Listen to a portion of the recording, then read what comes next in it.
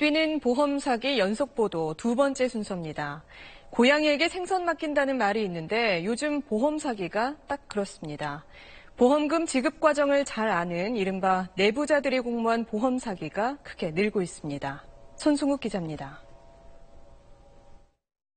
성형외과 의사 김 씨에게 최근 병원 컨설턴트란 사람들이 찾아왔습니다. 다른 병원을 차려 도수 치료를 하면 큰 돈을 벌 수 있다며 의사 자격증을 빌려달라고 유혹했습니다. 무료 마사지와 피부 관리로 손님을 모으고 치료 비용을 보험금으로 타서 나누자는 제안이었습니다. 한 달, 몇달 정도의 매출표까지 보여주시면서 굉장히 놀라울 정도의 그런 매출표를 줍니다. 최근 서울 강남 일대 병원을 중심으로 이런 수법이 확산되고 있습니다.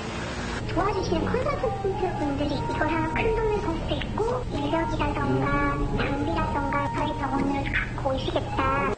전직 보험사 직원, 보험 설계사, 병원 직원 같은 이른바 알만한 사람들이 내부 공모를 통해 보험 사기에 나선 겁니다.